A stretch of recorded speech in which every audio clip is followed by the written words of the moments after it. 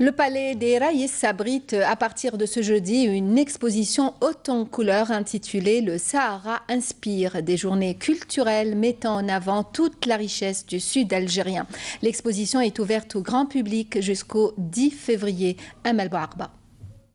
C'est un véritable voyage que nous propose cette exposition dans le grand Sahara algérien dans toute sa splendeur, son immensité et sa richesse. Le Sahara qui a de tout temps inspiré tant d'artistes venus des quatre coins de la planète n'en finit pas de fasciner.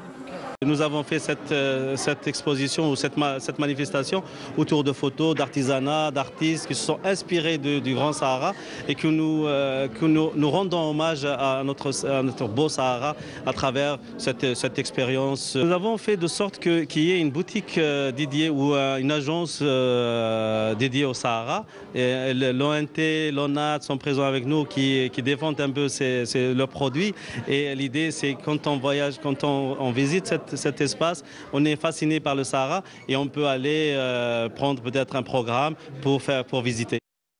Pour cette artisane passionnée, le Grand Sahara est une véritable source d'inspiration.